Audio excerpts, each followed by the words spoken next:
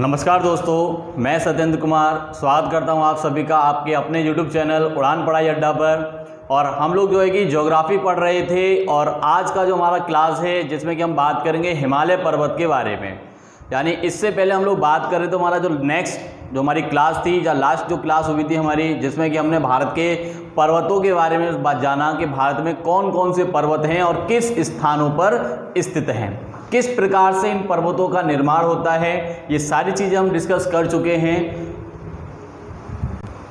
ठीक है भाई? तो हम लोग आज हमारी जो क्लास है, आज हम बात करेंगे हिमालय पर्वत के बारे में। इससे पहले जो हमारी क्लास थी, जिसमें मैंने आपको कुछ छोटी छोटी चीज़ों के अकॉर्डिंग बताया था भाई हिमालय पर्वत किस प्रकार बन करके तैयार हुआ है। और आज हम लोग पूरी तरीके से बात करेंगे हिमालय पर्वत के बारे में, यानी आज हमारा ये पार्ट वन है। हम हिमालय पार्ट वन को कंप्लीट कर रहे हैं और जिसमें कि हम शुरुआत करेंगे भाई आपके हिमालय पर्वत के बारे में। हम लोग किसको पढ़ने जा रहे हैं? हिमालय की बात की जा रही है।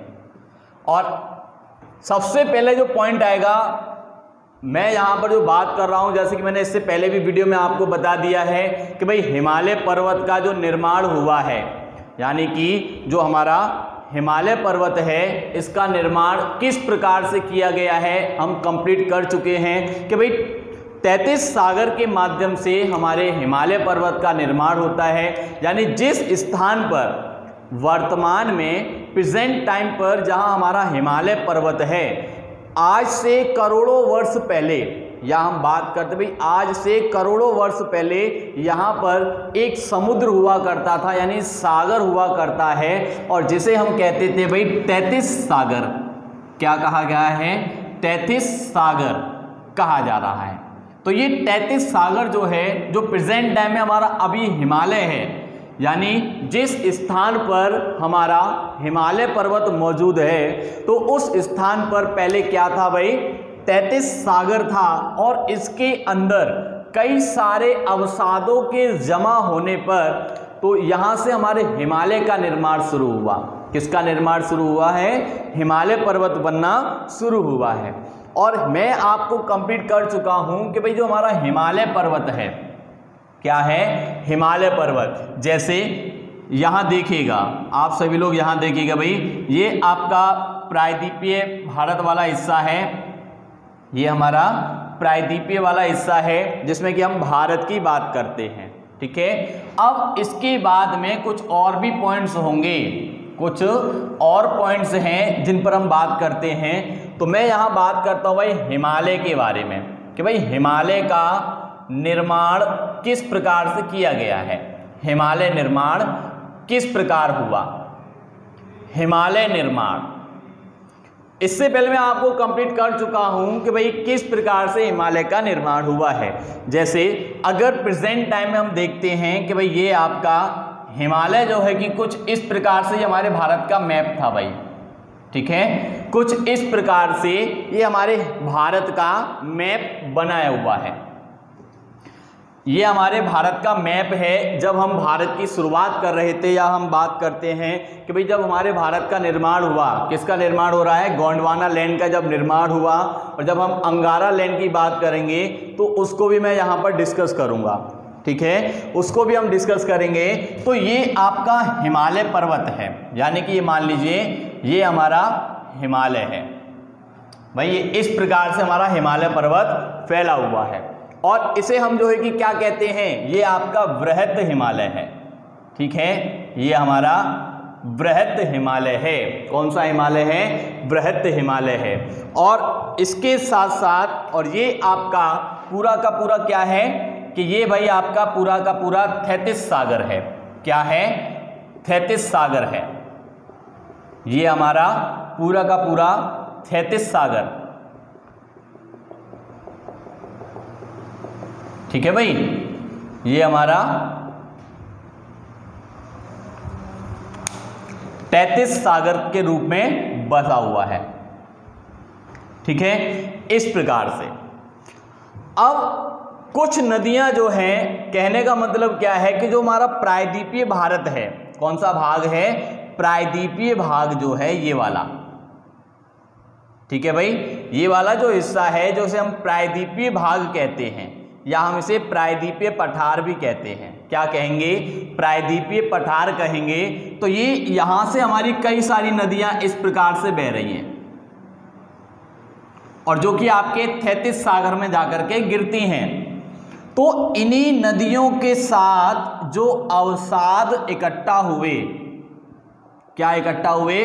अवसाद इकट्ठा हुए और जब यहाँ पर हम रेत कंकड़, बालू, मिट्टी सब इकट्ठा हो गई तो भाई ये क्या हुआ?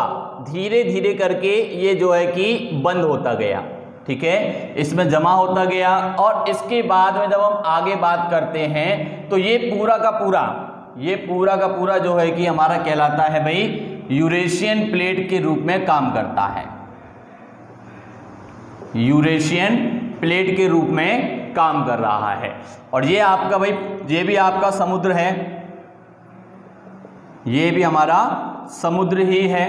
पूरा का पूरा समुद्र से घिरा हुआ है। तो अब इस प्रकार से जब अवसाद इसमें एकत्रित होना शुरू हुआ, इकट्ठा होना शुरू हो गए तो फाइनली किसका निर्माण हुआ भाई? हमारे हिमालय का निर्माण हुआ। तो हम कह सकते हैं कि भाई हिमालय का निर्माण थैतीस सागर में जमा हुए। अवसादों से हुआ है। ठीक है? और जिसमें कि हम सबसे पहला पॉइंट क्या पढ़ते हैं? हम लोग सबसे पहला पॉइंट क्या पढ़ेंगे? कि भाई, इसमें भी हम और भी कई सारे पॉइंट्स हैं जिनकी हम बात करेंगे। यहाँ भी और भी कई सारे पॉइंट्स होंगे जिनकी बात करते हैं। जैसे भाई, हिमालय को हमने चार भागों में बांटने का काम कर दिया है। कितने भागों में बांट दिया हमने हिमालय को? चार भागों में बांट दिया है, जिसमें से पहला है आपका ट्रांस हिमालय। ठीक है? क्षेत्रफल आधार पर हम बांट रहे हैं भाई ट्रांस हिमालय। दूसरा है बृहत हिमालय। और तीसरा है आपका लघु हिमालय। और फोर्थ है शिवालिक हिमालय। शिवालिक हिमालय। ठीक है भाई? तो हिमालय पर्वत के बारे में तो ये आपका भाई हिमालय पर्वत है, ये पूरा। ये हमारी पूरी जो है कि हिमालय पर्वत श्रृंखला है, पूरी की पूरी। ठीक? हिमालय पर्वत श्रृंखला यहाँ से काम करती है तो हम कह सकते हैं कि भाई हिमालय पर्वत का निर्माण, अगर हम बात करते हैं कि भाई हिमालय पर्वत का जो निर्माण है ठीक है? यूरेशियन प्लेट के भूखंड से हुआ है। किसके माध्यम से हुआ है? यूरेशियन प्लेट के भूखंड से हुआ है। किससे होता है? यूरेशियन प्लेट के भूखंड से हुआ है। यानी कि ये आपका एक ज़मीन का एक हिस्सा, जो कि अवसादों के जमा होने से ऊपर की ओर उठता चला गया। तो उसी को कहा जाता है कि भाई यूरेशियन भूखंड द्वारा। यूरेशियन भूखंड द्वारा हिमालय का निर्माण किया गया है। ठीक है? यूरेशियन भूखंड के माध्यम से हम जो है कि कह सकते हैं कि भाई, यूरेशियन भूखंड द्वारा हमारा हिमालय पर्वत का निर्माण हुआ है। या हम ये भी कह सकते हैं भाई, ट्रांस हिमालय जो है कि इसी की देन है। जो हमारा ट्रांस हिमालय है, वो इसी की देन है। ठीक है? अगर इसके टाइम की बात करते हैं कि भाई हमारा जो हिमालय पर्वत है, किस समय से है तो करोड़ों वर्ष पहले का है। ठीक है? करोड़ों वर्ष पहले इसका निर्माण किया जा चुका है। और हिमालय भाई कैसा पर्वत है? ये नवीनतम मोड़दार पर्वत है। फोल्डिंग माउंटेन है। मोड़दार। कैसा पर्वत है भाई? फोल्डिंग माउंटेन है ये। कैसा है? फोल्डिंग माउंटेन के तौर पर ये काम करता है भारत के अंदर। यानी कि हमारा जो हिमालय है, ये फोल्डिंग माउंटेन की तरह काम करता है और इसकी अनेक पर्वतों का, यानी इसे हिमालय को पर्वतों का समूह कहा जाता है।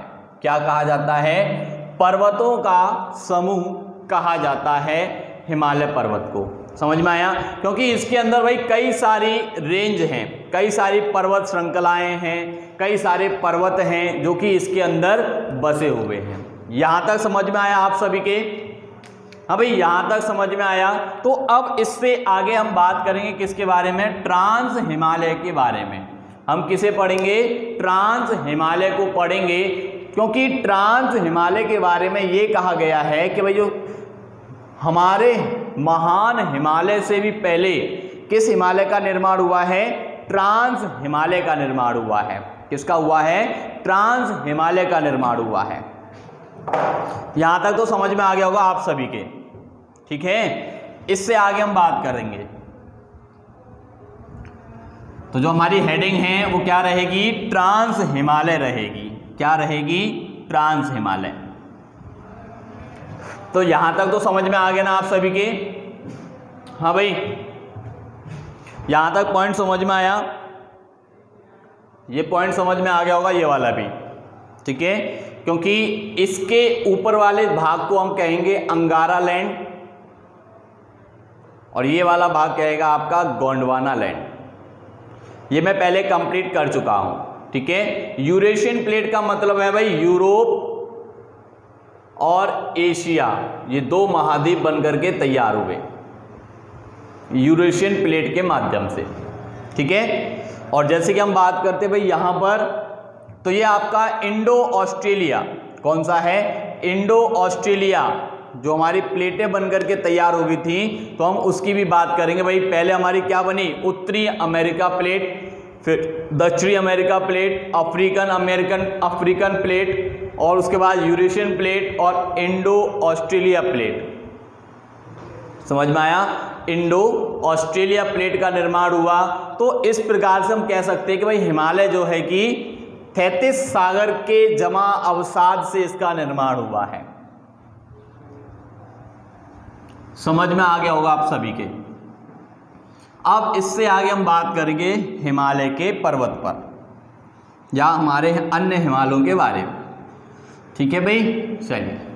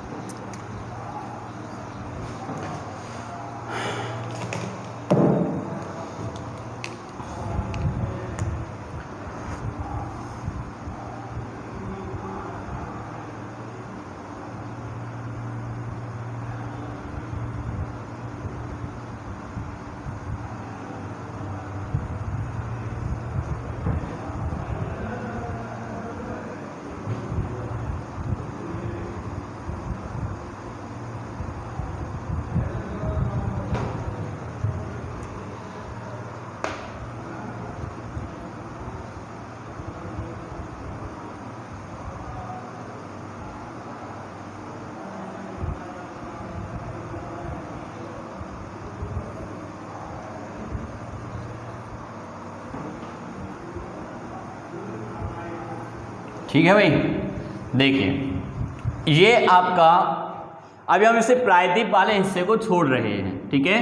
प्रायद्वीप वाले भाग को मैंने छोड़ दिया है, ठीक है? मैं यहाँ से शुरुआत करता हूँ आपके हिमालय को बनाने का।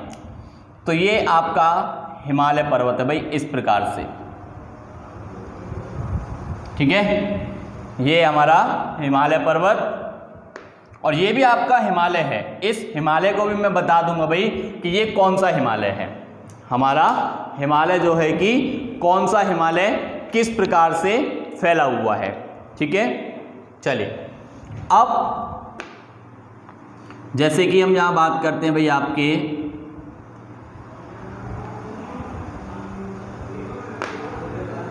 इसी हिमालय की हम बात कर लेते हैं। ठीक है? ये इस प्रकार से। ठीक है भाई? तो ये आपका एक सेकेंड यार। सॉरी भाई है ना? एक सेकेंड है। हाँ। मैं इसे कंप्लीट बना लूँ पहले। देखिए भाई किस प्रकार से हमारा हिमालय पर्वत बनता है। देखिए ये आपका हिमालय पर्वत है भाई इस प्रकार से ये फैला हुआ है। ठीक? और ये आपका लघु हिमालय है। और ये है आपका शिवालिक हिमालय।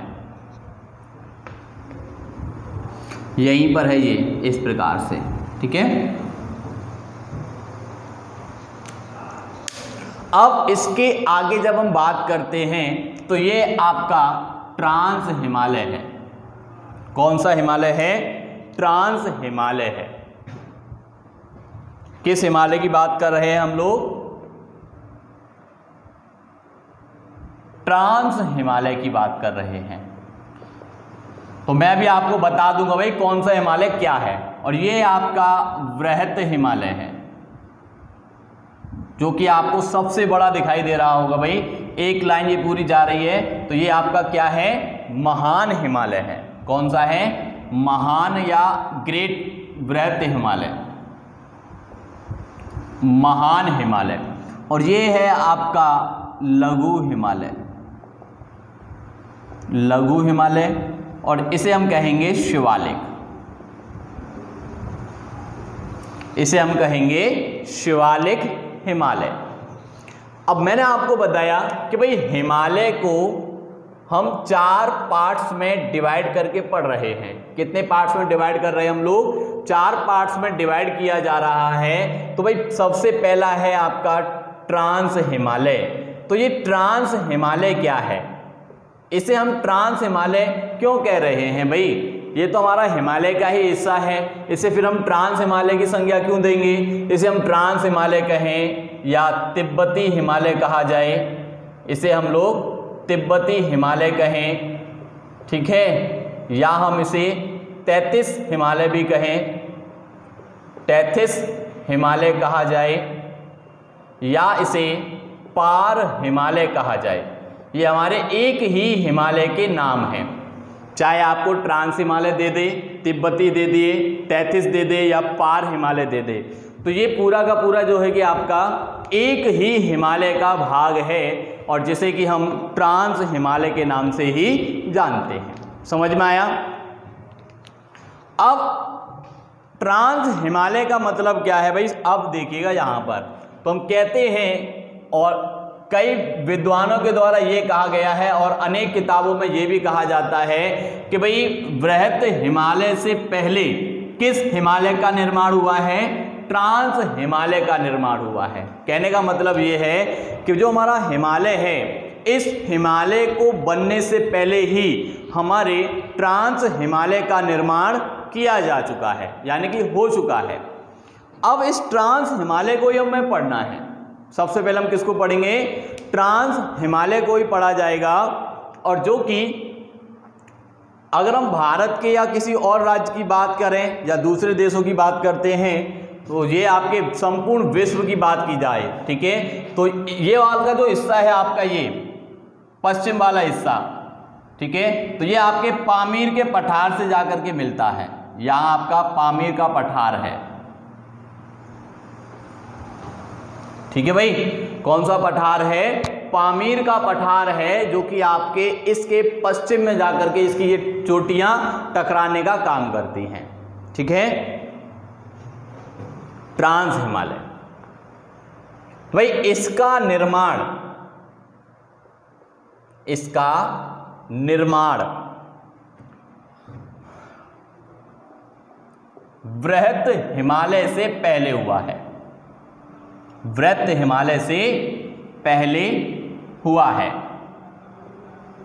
और जिसे यूरेशियन भूखंड कहा गया है। यूरेशियन भूखंड का भाग कहते हैं। भूखंड का भाग कहा गया है। समझ में आ रहा है ये ना? अब इसके बाद में जब हम और भी कई सारे पॉइंट्स होंगे तो वो भी कुछ इस प्रकार से, जैसे कि इस हिमालय की अगर हम ट्रांस हिमालय की किसकी बात करते हैं भाई? अगर हम इसकी लंबाई की बात करें, किसकी बात करें? लंबाई की बात करते हैं तो लगभग नौ सौ पैंसठ किलोमीटर लंबा है ये। नौ सौ पैंसठ किलोमीटर लंबाई है और जो भारत के जम्मू कश्मीर राज्य में फैला है। जम्मू कश्मीर में फैला हुआ है। केवल एक ही राज्य में ये हमारा जो है कि फैला हुआ है, वो क्या है? ट्रांस हिमालय है, जो कि हमारे एक ही राज्य में फैला है।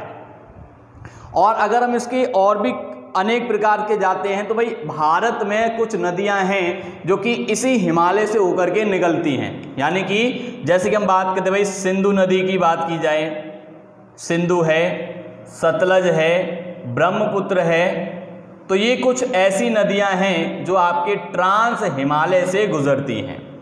किससे होकर के गुजर रही हैं? ट्रांस हिमालय से होकर के गुजर रही हैं। ठीक है? अब इसी में हम यहाँ पर आपको काराकोरम पर्वत श्रेणी, इसकी कुछ पर्वत श्रेणियाँ हैं जो कि इस प्रकार से बनी हुई हैं। ठीक है भाई? ये आपकी काराकोरम है, ये लद्दाख है, ये जास्कर श्रेणी है। तो यहाँ पर हमारे अनेक कई कई प्रकार की श्रेणियाँ हैं, जो पर्वत श्रेणियाँ हैं, जो कि इन भागों में बसी हुई हैं।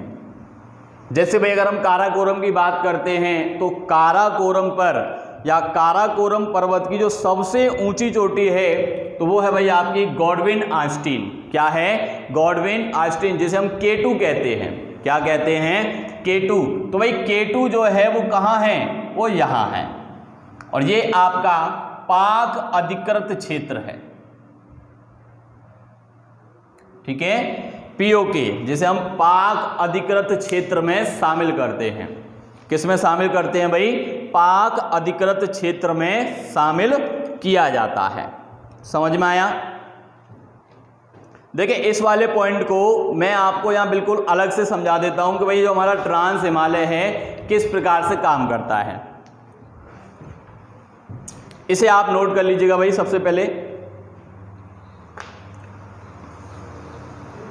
नोट कर लिया होगा आप सभी ने। चले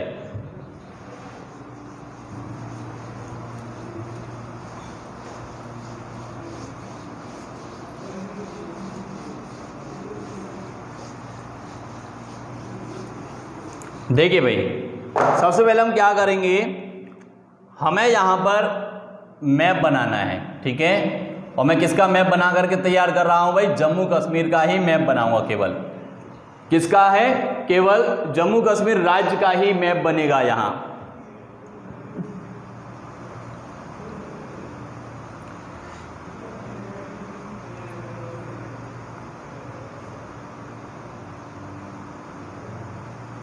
ये आपका जम्मू कश्मीर है।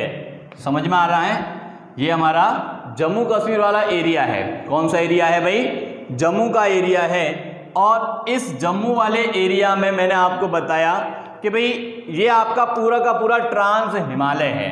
क्या है? ये हमारा पूरा का पूरा ट्रांस हिमालय है और पूरा का ट्रांस हिमालय इसी में फैला हुआ है। और जिसमें कि मैंने आपको बताया था कि भाई, इसके अंदर कितनी पर्वत श्रेणियाँ हैं? तीन पर्वत श्रेणियाँ हैं जो कि इस प्रकार से फैली हुई हैं। इस प्रकार से फैली हुई है। और जिसमें कि भाई ये आपकी काराकोरम, कौन सी पर्वत श्रेणी है? काराकोरम पर्वत श्रेणी है। और ये आपकी लद्दाख, और ये है आपका जास्कर। अब इन तीनों में अलग अलग पर्वत हैं अलग अलग चोटियाँ हैं, जो कि भाई अनेक प्रकार से बहने का, यानी कि यहाँ पर पाई जाती हैं। तो ये पूरा का पूरा ट्रांस हिमालय है। तो मैं यहाँ कह सकता हूँ कि भाई ट्रांस हिमालय में मैं यहाँ पर कह सकता हूँ कि जो हमारा ट्रांस हिमालय है तो भाई ट्रांस हिमालय में तीन पर्वत श्रृंखलाएँ उपस्थित हैं। क्या उपस्थित हैं?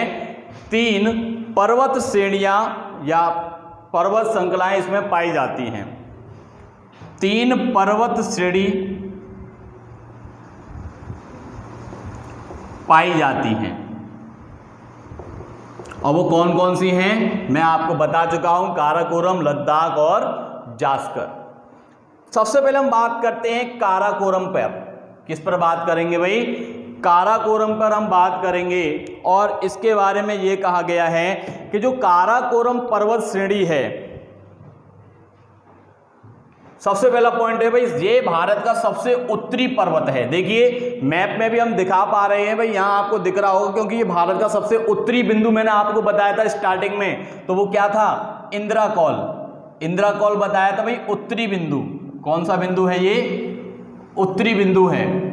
जो कि जम्मू कश्मीर में स्थित है। और ठीक उसी पर आपका काराकोरम पर्वत है। तो पहला प्रश्न तो यही बन गया कि भाई भारत का सबसे उत्तरी पर्वत कौन सा है?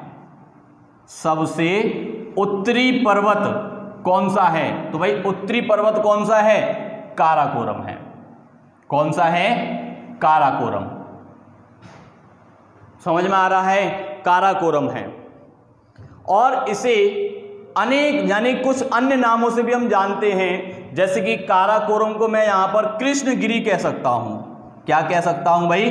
कृष्णगिरी। इसे हम कृष्णगिरी के नाम से भी जानते हैं। काराकोरम को हम लोग कृष्णगिरी के नाम से भी जानते हैं, और ऐसा ही नहीं है, इसे एशिया की रीढ़ कहा जाता है। जो काराकोरम पर्वत है, इसे एशिया की रीढ़ कहा जाता है। क्या कहा जाता है? उच्च एशिया रीढ़ कहा जाता है। मैं लिख देता हूँ, इसे इसे उच्च एशिया उच्च एशिया की रीढ़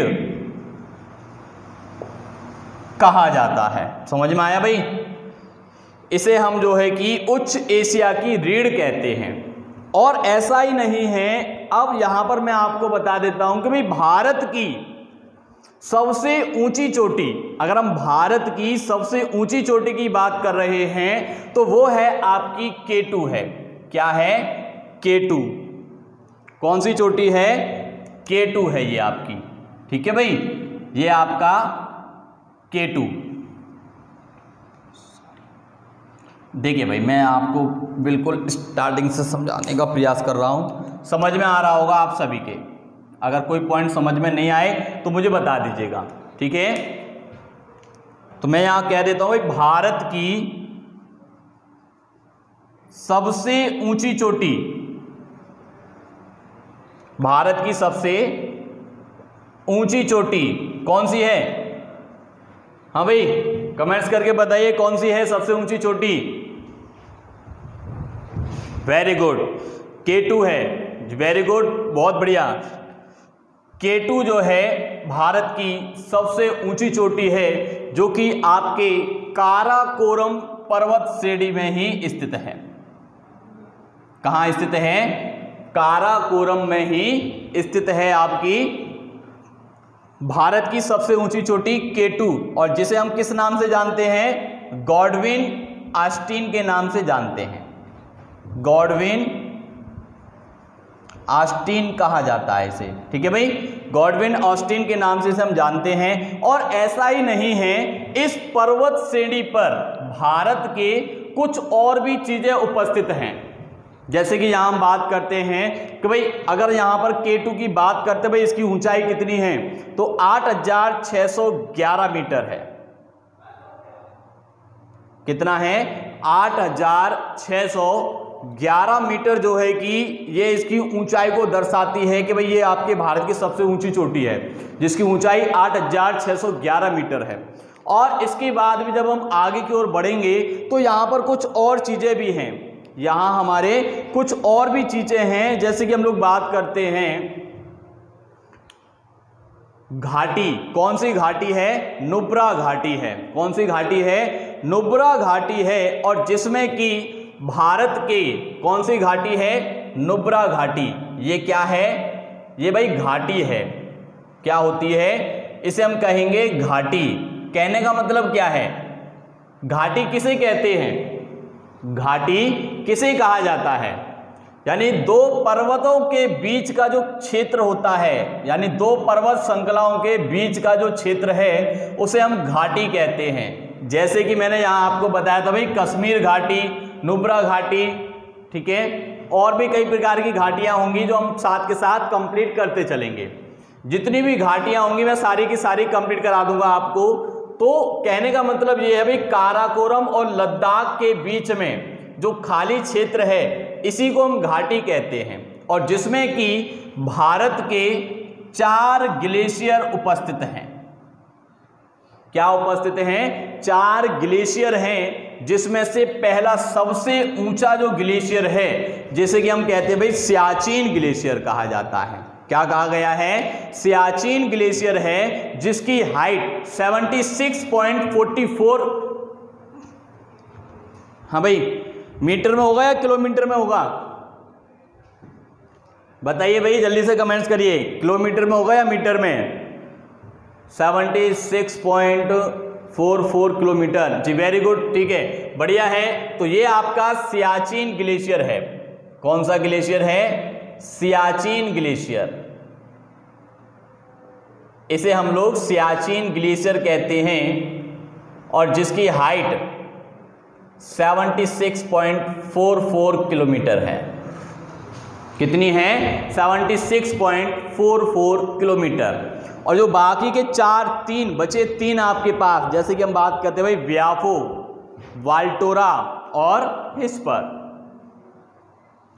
तो ये आपका हिस्पर इकसठ किलोमीटर ऊँचा है। कितना है? इकसठ किलोमीटर ऊँचा है। और इसके साथ साथ हम बात करते हैं बाल्टोरा और बियाफो तो भाई बियाफो जो है, ये आपका बियाफो है तो बियाफो की हाइट 60 किलोमीटर्स है। और वाल्टोरा है आपका, ये आपका वाल्टोरा है, और जिसकी हाइट 59 किलोमीटर सॉरी 51 किलोमीटर है। समझ में आया? तो अब घाटी समझ में आया तो ये कौन सी घाटी है? ये आपकी नुब्रा घाटी है। कौन सी घाटी है? नुब्रा घाटी। तो अगर प्रश्न पूछा जाए कि भाई नुब्रा घाटी कहाँ स्थित है तो आप कह सकते हैं कि भाई नुब्रा घाटी काराकोरम और लद्दाख पर्वत के बीच का जो क्षेत्र है, या सॉरी जो पीर पंजाल, काराकोरम और पीर पंजाल पर्वत जो है कि, यहाँ मैंने एक पर्वत श्रेणी और है हमारी जो कि पीर पंजाल इस प्रकार से जा रही है। ठीक है भाई? ये इस प्रकार से पीर पंजाल पर्वत श्रेणी है, इस प्रकार से काम कर रही है। ठीक है? चलिए तो यहाँ तक समझ में आया कि नहीं आया भाई? ये वाला पॉइंट समझ में आया या नहीं ही? कम, जल्दी से मुझे कम कमेंट्स करके बता दीजिए भाई कि समझ में आ गया है या नहीं आया है, जिससे कि हम आगे की ओर बात करेंगे। ठीक है?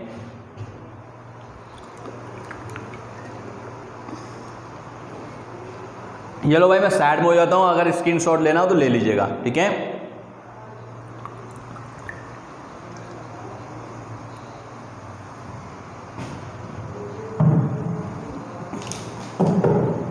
समझ में आ गया भाई? और यहाँ से जैसे हम बात करते हैं भाई, जैसे कि मैंने अभी आपको बताया कि हमारी जो सिंधु नदी है और जो सतलज नदी है या हम बात करते हैं जो हमारी सिंधु नदी है, भाई कौन कौन सी सीढ़ियों के बीच से होकर के गुजरती है? तो भाई, इन दोनों पर्वत सीढ़ियों के बीच से होकर के गुजरेगी हमारी सिंधु नदी। ठीक है? ऐसे होकर के गुजरती है भाई यहाँ से, ये सिंधु नदी जा रही है। तो इन दोनों के बीच से होकर के गुजरती है ऐसे। समझ में आया? ये हमारी सिंधु नदी है, लद्दाख और जास्कर श्रेणी के बीच से होकर के गुजर रही है। ठीक है? चलिए।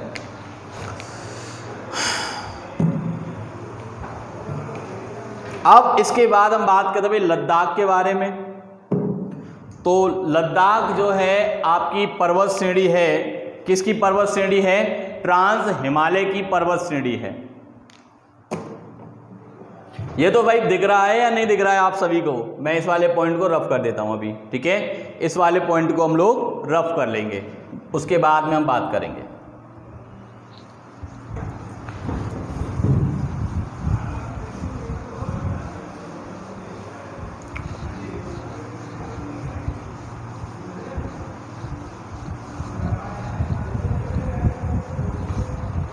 तो मैं यहाँ लिख देता हूँ भाई। इनके बारे में भी बता देता हूँ आपको, ठीक है? काराकोरम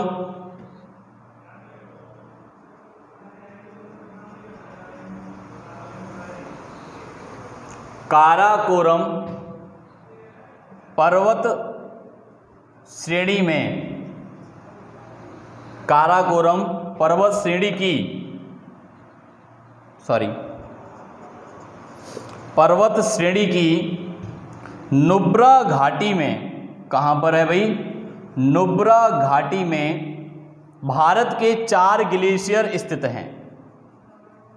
भारत के चार ग्लेशियर चार ग्लेशियर स्थित हैं।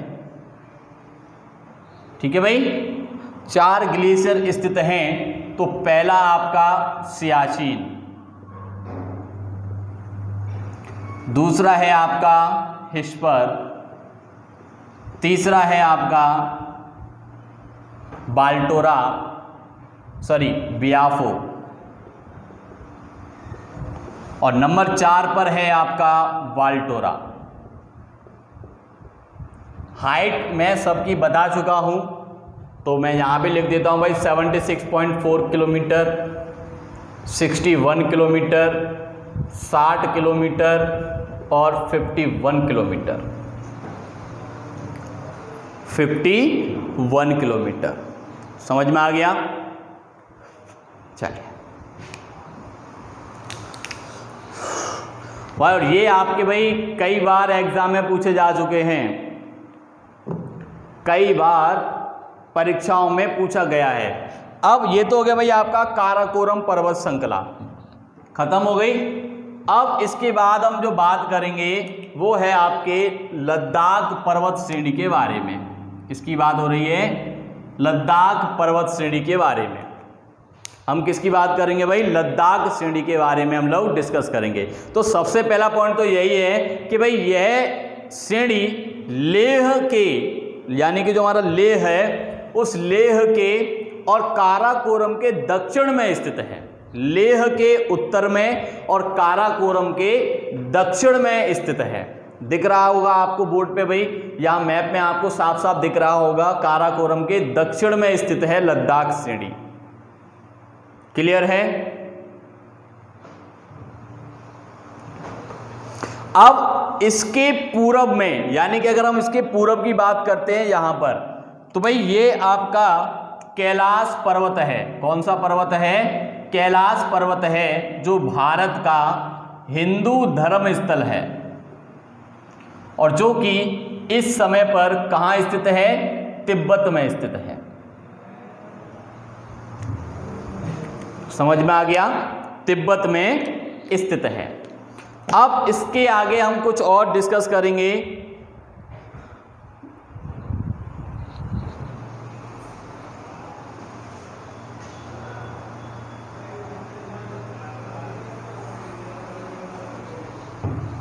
हाँ भाई, इसके आगे हम लोग बात कर रहे थे आपके बारे में। तो मैं आप बता दूँ भाई, लद्दाख श्रेणी की हम बात कर रहे हैं।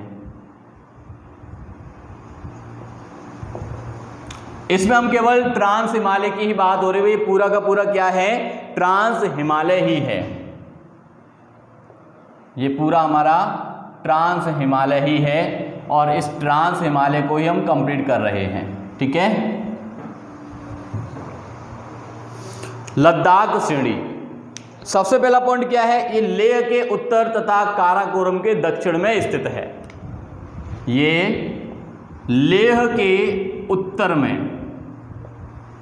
और काराकोरम के दक्षिण में स्थित है। ये बात तो समझ में आ गई। अब इसके पूर्व में, यानी कि इस श्रेणी के पूर्व में, भारत के या भारत का प्रसिद्ध प्रसिद्ध हिंदू धर्म स्थल हिंदू धर्म स्थल स्थित है। कौन सा है भाई? कैलाश पर्वत। कौन सा पर्वत है? कैलाश पर्वत है, जो कि आपके कहाँ स्थित है? भाई, ये आपका तिब्बत में स्थित है। कहाँ स्थित है? तिब्बत में। समझ में आ गया भाई? कहाँ है? तिब्बत में स्थित है और इसके बारे में कुछ और भी पॉइंट्स हैं जो कि हम बात करेंगे, भाई, तिब्बत प्रेजेंट टाइम में कहाँ है? चाइना के अधिकार में है। किसके अधिकार में है? चाइना के अधिकार में है तिब्बत। जो हमारा तिब्बत है, किसके अधिकार में है? चाइना के अधिकार में हम इस प्रकार से भी कह सकते ठीक है भाई? तो कैलाश पर्वत मैंने आपको बताया कहाँ है? तिब्बत। और तिब्बत प्रेजेंट टाइम में, भाई, चाइना के अधिकार में है। तो हम कह सकते हैं जो हमारा कैलाश पर्वत है, वो चाइना के अधिकार में मौजूद है। और ऐसा ही नहीं, इस लद्दाख श्रेणी की सबसे ढाल वाली चोटी, या हम ये कहें कि भाई संपूर्ण विश्व की सबसे अधिक ढाल वाली जो चोटी है, ढाल का मतलब भाई ढलान वाली जो चोटी है, जिसका ढाल सबसे अधिक है तो वो कौन सी है? राकापोशी। कौन सी है? राकापोशी चोटी है, जो कि आपके लद्दाख पर्वत श्रेणी में स्थित है।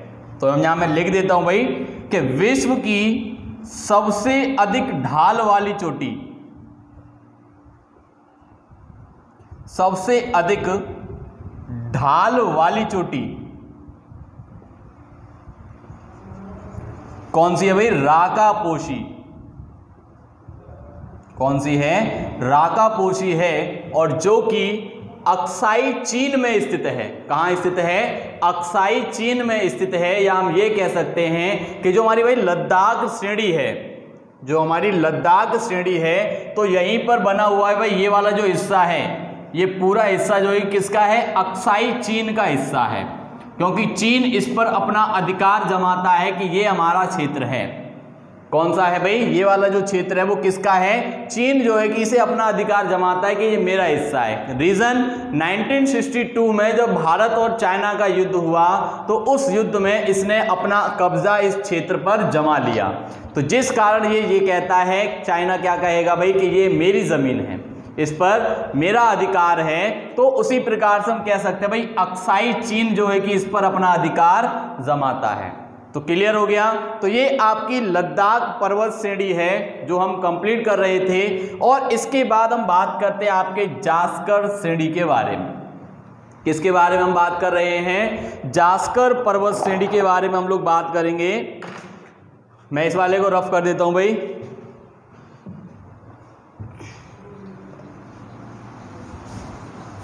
जास्कर पर्वत श्रेणी। नेक्स्ट हेडिंग क्या रहेगी हमारी? जास्कर पर्वत श्रेणी है। जो अगली हेडिंग है हमारी, जास्कर पर्वत श्रेणी।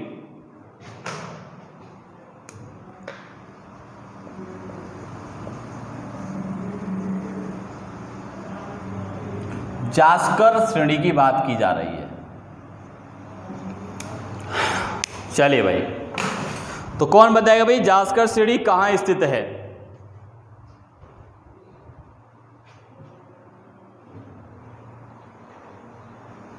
हाँ भाई। जैसे कि हमने अभी आपको बताया भाई, लद्दाख के दक्षिण में स्थित है आपकी जास्कर श्रेणी यह है लद्दाख श्रेणी के, यह लद्दाख श्रेणी के दक्षिण में स्थित है। और ऐसा ही नहीं भाई, लद्दाख और जास्कर श्रेणी के जो बीच वाला जो क्षेत्र है तो इसमें भाई कश्मीर घाटियाँ भी स्थित हैं। कौन सी घाटियाँ स्थित हैं? कश्मीर घाटियाँ जो है कि, या हम कहते हैं कि भाई नदी घाटियों का निर्माण किया गया है, जिसमें से भाई हमारी सिंधु नदी बहती है। कौन सी नदी बहती है? सिंधु नदी बहती है। या हम इस प्रकार से भी कह सकते हैं कि भाई जास्कर श्रेणी और लद्दाख श्रेणी के मध्य में नदी घाटियाँ स्थित हैं। क्या स्थित हैं? नदी घाटियाँ स्थित हैं। जिसका विस्तार जम्मू कश्मीर और उत्तराखंड राज्य में फैला हुआ है। किन दो राज्यों में है भाई? हाँ भाई तो मैं बता देता हूँ भाई, इन घाटियों से, इन घाटी से, एक सेकंड भाई। और जैसा कि आप सभी को पता है भाई ज्योग्राफी की क्लास चल रही है और ज्योग्राफी मैंने आपको कई बार पढ़ा चुके हैं और आप भी पढ़ चुके होंगे। लेकिन जहाँ तक है, मैं अपनी पूरी कोशिश करता हूँ कि आपके समझ में सारी चीज़ें आएँ और जहाँ तक मुझे विश्वास है कि जितना मैं कराता हूँ, आपके माइंड में सेट होता है। ठीक है भाई? आप लोग उन चीज़ों को समझ रहे होंगे। तो सारी चीज़ें जो है कि हम एक जैसे नहीं करेंगे। कुछ कुछ चीज़ें जो है कि बिल्कुल अलग तरीके से होंगी। कुछ चीज़ें बिल्कुल अलग तरीके से की जाएँगी जो कि आपके माइंड में सेट रहेंगी। और बीच बीच में मैं आपको कुछ प्रैक्टिस सेट भी कराऊँगा, जो कि ज्योग्राफी के साथ साथ चलती रहेगी। तो ये भी आपके लिए बहुत ही इंपॉर्टेंट रहेगा भाई। बस जुड़े रहिए साथ में। ठीक है भाई, इससे जो है कि भाई नदी घाटियाँ भी बहती हैं। इसके बीच में नदी घाटी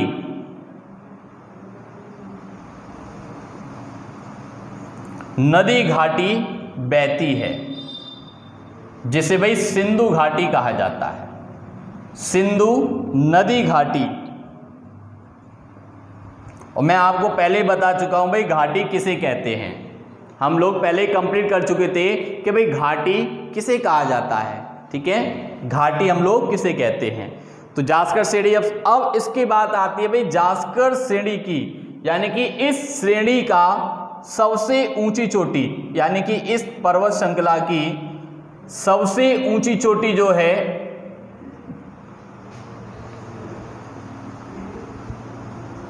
सबसे ऊँची चोटी जो है, और वो क्या है भाई हमारी? कौन सी है? नंगा पर्वत है। कौन सी है? नंगा पर्वत है, जो कि भाई सबसे ऊँची चोटी है आपके।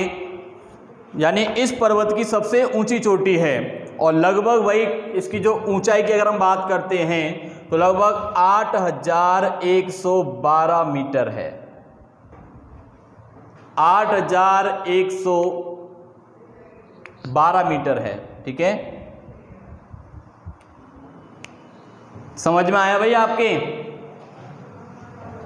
और ऐसा ही नहीं, इस जास्कर श्रेणी की ही हम बात करते हैं तो भाई इसी पर्वत श्रेणी से, जो हमारे उत्तराखंड वाला राज्य है या और भी अनेक पास पास की अनेक चोटियाँ हैं, जो कि सबसे ऊँची चोटियाँ पाई जाती हैं, वही नंगा पर्वत, जहाँ से हमारे वृत्त हिमालय की शुरुआत होती है। किस हिमालय की शुरुआत हो रही है? बृहत हिमालय की शुरुआत होती है। तो इसके आगे हम बात करते हैं, भाई, इसके माध्यम के द्वारा ही, जैसे कि हम उत्तराखंड की बात करते हैं तो भाई, उत्तराखंड राज्य में हमारे अनेक प्रकार के दर्रे बसे हुए हैं। क्या बसे हुए हैं? दर्रे बसे हुए हैं, जो कि आपके इसी पर्वत श्रेणी से होकर के निकलते हैं। इन्हीं पर्वतों से होकर के, पर्वत श्रेणी से होकर के भाई अनेक प्रकार के दर्रे निकलते हैं। जैसे कि हम नीति दर्रा है लिपुलेख दर्रा है, माना दर्रा है, धर्मा दर्रा है। तो अनेक दर्रे जो है कि यहाँ से निकलते हैं, जो कि इसी प्रकार से वर्क करते हैं। ठीक है? जो कि उत्तराखंड राज्य के दर्रे हैं, इसी प्रकार से यहाँ फॉलो करते रहेंगे। और और भी कई सारी चीज़ें होंगी जो हम यहाँ पर डिस्कस करेंगे। ठीक है भाई? यहाँ तक तो समझ में आ गया होगा आप सभी के। चलिए, आगे बढ़ेंगे हम लोग। और इसके आगे जब हम बात करेंगे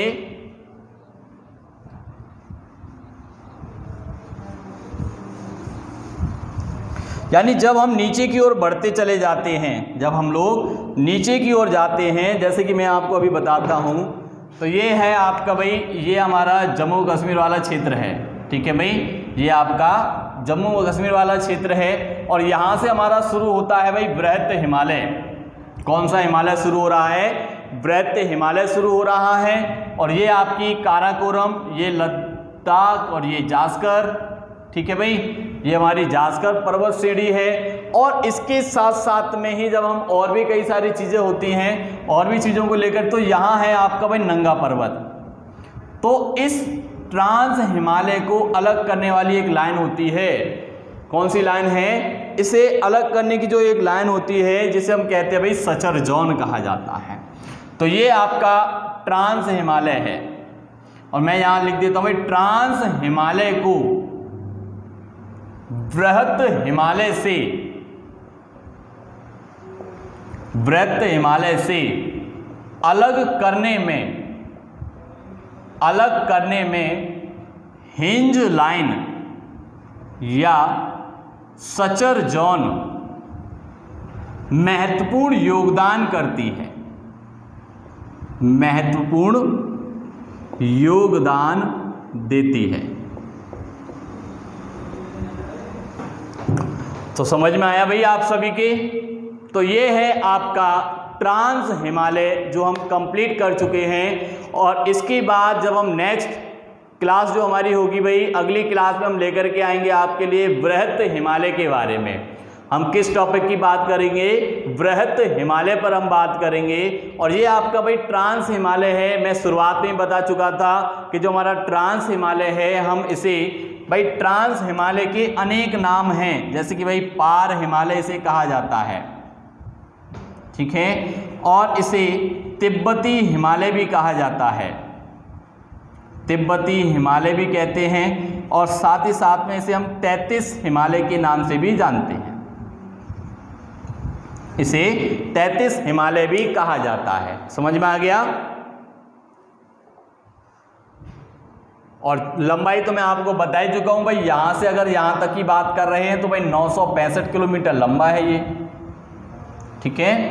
सबसे ऊँची चोटी गॉडविन आइस्टीन, लद्दाख पर्वत की सबसे ऊँची चोटी राकापोशी है। और अगर इसकी बात करें तो भाई नंगा पर्वत है। ठीक है? क्लियर हो गया? चलिए तो अब इसके बाद हम नेक्स्ट जो टॉपिक लेकर के आएँगे भाई हिमालय से ही, और ये आपका पार्ट वन है। हिमालय का पार्ट वन है, जिसमें कि हम ट्रांस हिमालय को कंप्लीट कर चुके हैं। हम लोग ट्रांस हिमालय को कंप्लीट कर चुके हैं और आज हम जो है कि अपनी क्लास को यही ख़त्म करते हैं, समाप्त करते हैं। तब तक भाई बने रहिए सभी लोग साथ में। धन्यवाद। जय हिंद।